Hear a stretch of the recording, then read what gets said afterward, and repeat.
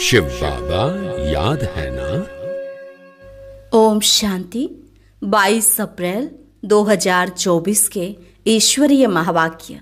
पहले सुनते हैं मुरली के मुख्य पॉइंट्स बाबा ने कहा, यहाँ रावण राज्य में सब दुखी हैं, इसलिए मैं सर्वेंट बन सब धर्म वालों को वापस शांति धाम ले जाने आया हूँ।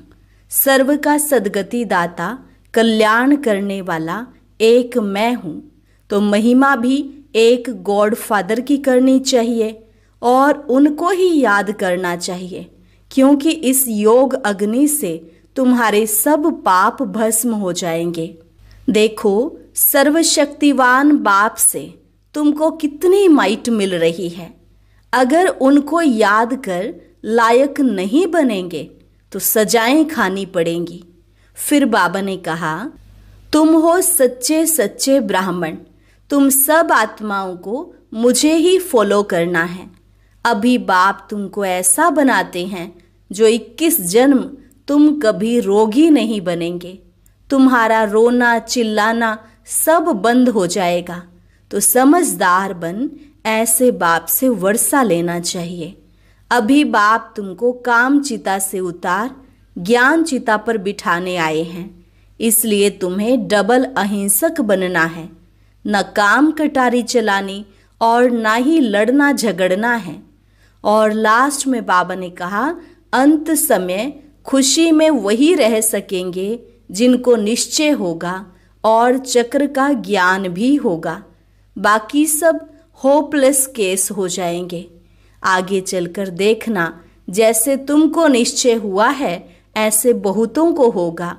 पिछाड़ी के समय याद की यात्रा में भी बहुत रहेंगे। उस समय जिनकी अवस्था बहुत अच्छी होगी, वही साक्षात्कार करेंगे। और अब सुनते हैं महावाक्यों को विस्तार से। मुरली का सार, मीठे बच्चे, सर्व का सदगति दाता, एक बाप है। बाप जैसी निष्काम सेवा और कोई भी नहीं कर सकता। प्रश्न, न्यू वर्ल्ड स्थापन करने में बाप को कौन सी मेहनत करनी पड़ती है? उत्तर, एकदम अजामिल जैसे पापियों को फिर से लक्ष्मी नारायण जैसे पूज्य देवता बनाने की मेहनत बाप को करनी पड़ती है। बाप तुम बच्चों को देवता बनाने की मेहनत करते, बाकी सर्व आत्माएँ वापस शांति धाम जाती हैं।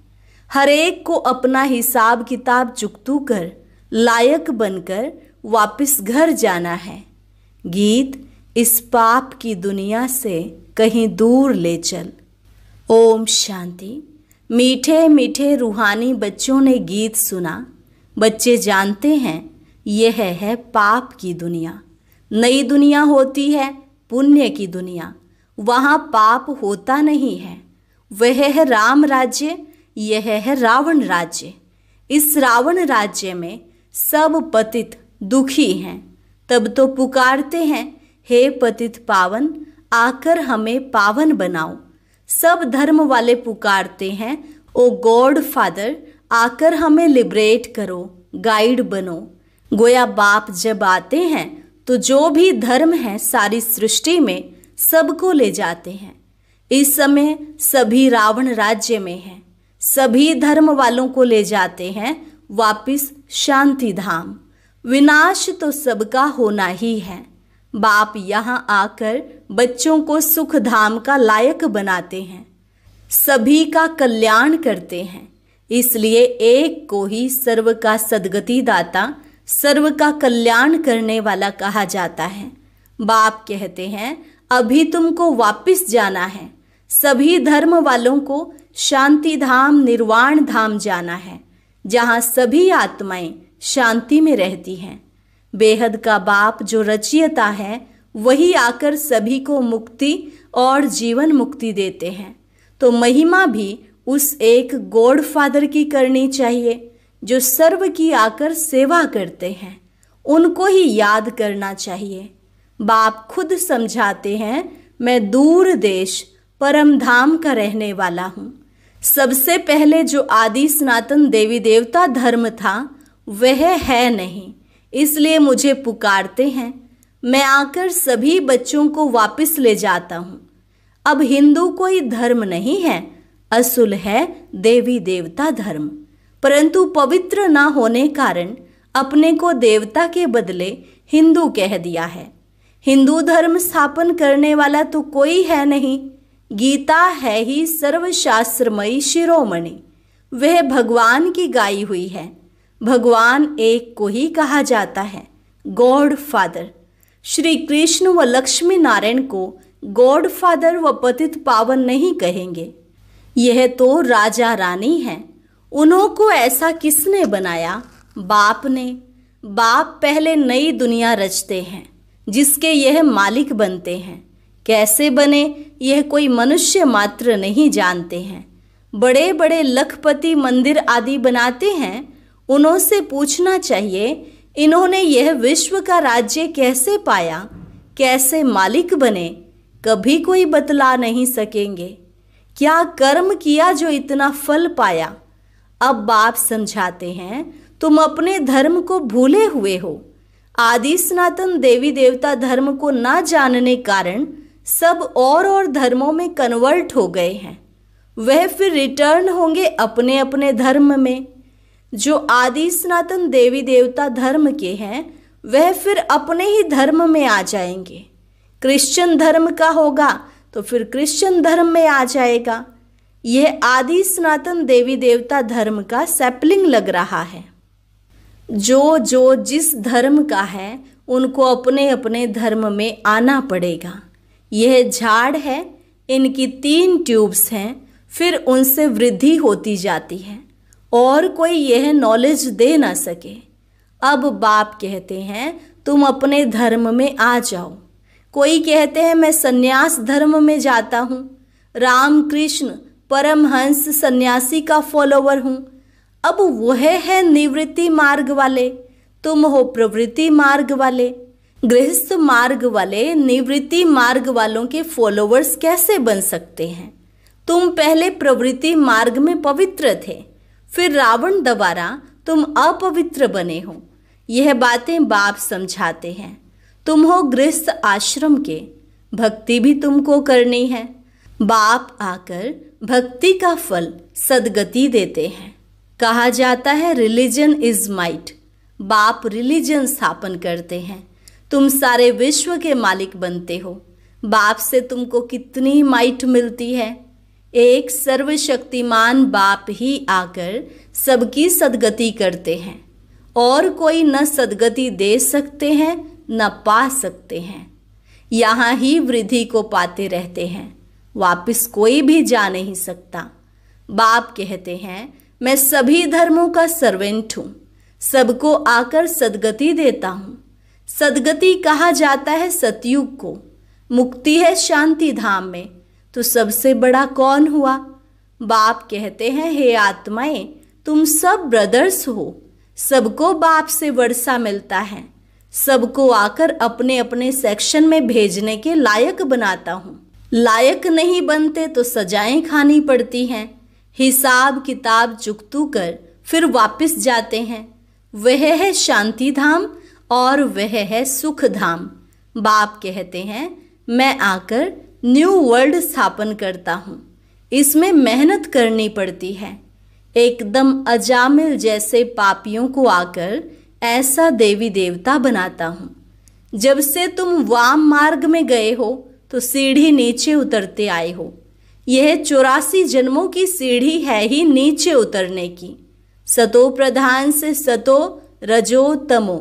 अभी यह है संगम। बाप कहते हैं, मैं आता ही एक बार हूँ। मैं कोई इब्राहिम बुद्ध के तन में नहीं आता हूँ। मैं पुरुषोत्तम संगम युग पर ही आता हूँ। अब कहा जाता है, फॉलो फादर।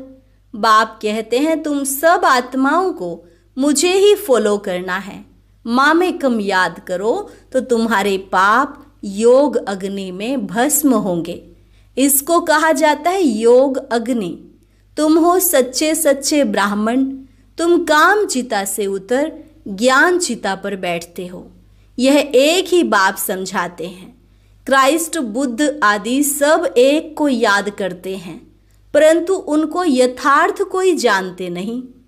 अब तुम आस्तिक बने हो। रचता और रचना को तुमने बाप दोबारा जाना है। ऋषि, मुनि सब नेति नेति कहते थे, अर्थात हम नहीं जानते। स्वर्ग है सचखंड दुख का नाम नहीं। यहाँ कितना दुख है, आयु भी बहुत छोटी है। देवताओं की आयु कितनी बड़ी है। वह है पवित्र योगी, यहाँ है अपवित्र भोगी। सीढ़ी उतरते उतरते आयु कमती होती जाती है, अकाले मृत्यु भी होती रहती है। बाप तुमको ऐसा बनाते हैं, जो तुम 21 जन्म कभी रोगी नहीं बनेंगे। तो ऐसे बाप से वर्षा लेना चाहिए। आत्मा को कितना समझदार बनना चाहिए। बाबा ऐसा वर्षा देते हैं जो वहाँ कोई दुख नहीं। तुम्हारा रोना चिल्लाना बंद हो जाता है। सब पार्टधारी हैं। आत्मा एक शरीर छोड़ दूसरा लेती है। यह भी ड्रामा। बाबा कर्म अकर्म विकर्म की गति भी समझाते हैं। ब्रह्मा का दिन और रात गाई हुई है। ब्रह्मा का दिन रात सो ब्राह्मणों का। अब तुम्हारा दिन होने वाला है। महाशिवरात्रि कहते हैं। अब भक्ति की रात पूरी हो, ज्ञान का उदय होता है। अब है संगम। तुम अब फिर से स्वर्गवासी बन रहे हो। अंधियारी रात में धक्के भी खाए, टिप्पण भी घिसाई, पैसे भी खलास किए। अब बाप कहते हैं, मैं आया हूँ तुमको शांति धाम और सुख धाम में ले जाने के लिए।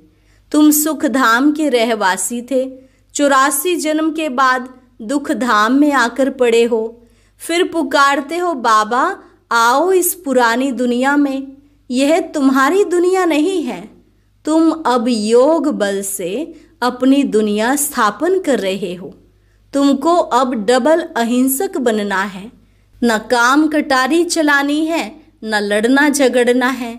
बाप कहते हैं, मैं हर पाँच हज़ार वर्ष के बाद आता हूँ। यह कल्प पाँच हज़ार वर्ष का है, न कि लाखों वर्ष का। अगर लाखों वर्ष का होता, फिर तो यहाँ बहुत आदमशुमारी होती। गपोड़े लगाते रहते हैं। इसलिए बाप कहते हैं, मैं कल्प कल्प आता हूँ। मेरा भी ड्रामा में पार्ट है। पार्ट बिगर मैं कुछ भी नहीं कर सकता हूँ। मैं भी ड्रामा के बंधन में हूँ। पूरे टाइम पर आता हूँ। मन मना भव। परंतु इसका कोई अर्थ नहीं जानता। बाप कहते हैं, देह के सभी संबंध छोड़ मामे कम याद करो तो सब पावन बन जाएँगे। बच्चे बाप को याद करने की मेहनत करते रहते हैं। यह है ईश्वरीय विश्वविद्यालय। ऐसे विद्यालय और हो न सके। यहाँ ईश्वर बाप आकर सारे विश्व को चेंज करते हैं। हेल से हेवन बना देते हैं, जिस पर तुम राज्य करते हो। अब बाप कहते हैं, मुझे याद करो तो तुम तमो प्रधान से सतो प्रधान बन जाएँगे। यह है बाबा का भाग्यशाली रथ, जिसमें बाप आकर प्रवेश करते हैं। शिव जयंती को कोई भी जानते नहीं है। वह तो कह देते, परमात्मा नाम रूप से न्यारा है। अरे नाम रूप से न्यारी तो कोई चीज़ होती नहीं। कहते हैं यह आकाश है तो यह नाम तो हुआ ना। भल पोलार है, परंतु फिर भी नाम है। तो बाप का भी नाम है, कल्याणकारी। फिर भक्ति मार्ग में बहुत नाम रखे हैं। बाबुरी नाथ भी कहते हैं, वह आकर काम कटारी से छुड़ाकर पावन बनाते हैं। निवृत्ति मार्ग वाले ब्रह्म को ही परमात्मा मानते हैं, उनको ही याद करते हैं, ब्रह्म योगी तत्व योगी कहलाते हैं, परंतु वह हो गया रहने का स्थान, जिसको ब्रह्मांड कहा जाता है। वह फिर ब्रह्म को भगवान समझ लेते हैं, समझते हैं हम लीन हो जाएँगे, गोया आत्मा को विनाशी बना देते हैं। बाप कहते हैं, मैं ही आकर सर्व की सदगति करता हूँ। इसलिए एक शिव बाबा की जयंती हीरे तुल्य है। बाकी सब जयंतियाँ कौड़ी तुल्य हैं। शिव बाबा ही आकर सबकी सदगति करते हैं। तो वह है हीरे जैसा। वही तुमको गोल्डन एज में ले जाते हैं। यह नॉलेज तुमको बाप ही आकर पढ़ाते हैं, जिससे तुम देवी देवता बनते हो। फिर यह नॉलेज प्राय लोप हो जाती है। इन लक्ष्मी नारायण में रचता और रचना की नॉलेज नहीं है। बच्चों ने गीत सुना, कहते हैं, ऐसी जगह ले चलो, जहाँ शांति और चैन हो। वह है शांति धाम फिर सुख धाम वहाँ अकाले मृत्यु नहीं होती है। तो बाप आए हैं बच्चों को उस सुख चैन की दुनिया में ले चलने। अच्छा मीठे मीठे सिकिलधे बच्चों प्रति मात पिता बाप दादा का याद प्यार और गुड मॉर्निंग। रूहानी बाप की रूहानी बच्चों को नमस्ते। रूहानी बच्चों की रूहानी बाप दादा को नमस्ते नमस्ते, गुड मॉर्निंग। और अभी रात्रि क्लास। अभी तुम्हारी सूर्यवंशी, चंद्रवंशी, दोनों डायनेस्टी बनती हैं। जितना तुम जानते हो और पवित्र बनते हो उतना और कोई जान नहीं सकेंगे, न पवित्र बन सकेंगे। बाकी सुनेंगे, बाप आया हुआ है तो बाप को याद करने लग जाएँगे। सो भी तुम आगे चल यह भी देखेंगे, लाखों करोड़ों समझ से जाएँगे। वायुमंडल ही ऐसा होगा, पिछाड़ी की लड़ाई में सभी होपलेस हो जाएँगे, सभी को टच होगा, तुम्हारा आवाज़ भी होगा, स्वर्ग की स्थापना हो रही है। बाकी सभी का मौत तैयार है। परंतु वह समय ऐसा होता है जो घुटका खाने का समय नहीं रहेगा। आगे चल बहुत समझेंगे जो होंगे। ऐसे भी नहीं, यह सभी उस समय होंगे। कोई मर भी जाएँगे। होंगे वही जो कल्प कल्प होते हैं। उस समय एक बाप की याद में होंगे। आवाज़ भी कम हो जाएगा। फिर अपने को आत्मा समझ बाप को याद करने लगेंगे। तुम सभी साक्षी होकर देखेंगे। बहुत दर्दनाक घटनाएँ होती रहेंगी। सभी को मालूम पड़ जाएगा कि अभी विनाश होना है, दुनिया चेंज होनी है। विवेक कहता है, विनाश तब होगा जब बॉम्ब्स गिरेंगे। अभी आपस में कहते रहते हैं कंडीशन करो, वचन दो, हम बॉम्ब्स नहीं छोड़ेंगे। लेकिन यह सभी चीज़ें बनी हुई हैं विनाश के लिए। तुम बच्चों को खुशी भी बहुत रहनी है। तुम जानते हो नई दुनिया बन रही है। समझते हो बाप ही नई दुनिया स्थापन करेंगे। वहाँ दुख का नाम नहीं होगा, उसका नाम ही है पैराडाइज। जैसे तुमको निश्चय है, वैसे आगे चल बहुतों को होगा। क्या होता है, जिनको अनुभव पाना है वह आगे चलकर बहुत पाएँगे। पिछाड़ी के समय याद की यात्रा में भी बहुत रहेंगे। अभी तो समय पड़ा है। पुरुषार्थ पूरा नहीं करेंगे तो पद कम हो जाएगा। पुरुषार्थ करने से पद भी अच्छा मिलेगा। उस समय तुम्हारी अवस्था भी बहुत अच्छी होगी। साक्षात्कार भी करेंगे। कल्प कल्प जैसे विनाश हुआ है, वैसे होगा। जिनमें निश्चय होगा चक्र का ज्ञान होगा, वह खुशी में रहेंगे। अच्छा रूहानी बच्चे, गुड नाइट। धारणा के लिए मुख्य सार, पहली पॉइंट, डबल अहिंसक बन, योग बल से इस हेल को हेवन बनाना है। तमो प्रधान से सतो प्रधान बनने का पुरुषार्थ करना है। दूसरी पॉइंट, एक बाप को पूरा पूरा फॉलो करना है। सच्चा सच्चा ब्राह्मण बन योग अग्नि से विकर्मों को दग्ध करना है। सबको काम चिता से उतार, ज्ञान चिता पर बिठाना है। वरदान, निस्वार्थ और निर्विकल्प स्थिति से सेवा करने वाले सफलता मूर्त भव। निस्वार्थ और निर्विकल्प स्थिति से सेवा करने वाले सफलता मूर्त भव। सेवा में सफलता का आधार आपकी निस्वार्थ और निर्विकल्प स्थिति है। इस स्थिति में रहने वाले, सेवा करते स्वयं भी संतुष्ट और हर्षित रहते और उनसे दूसरे भी संतुष्ट रहते। सेवा में संगठन होता है और संगठन में भिन्न भिन्न बातें भिन्न भिन्न विचार होते हैं। लेकिन अनेकता में मूंझो नहीं। ऐसा नहीं सोचो किसका माने, किसका नहीं माने।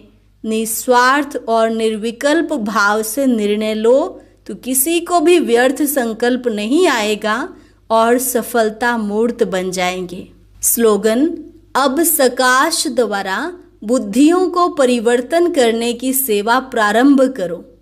अब सकाश द्वारा बुद्धियों को परिवर्तन करने की सेवा प्रारंभ करो। अच्छा? आज का व्यक्त ज्ञान मोती बहुत विशेष है। सभी भाई बहनें ज़रूर सुने। अव्यक्त ज्ञान मोती सुनने के लिए ऊपर दिए गए बॉक्स पर क्लिक करें।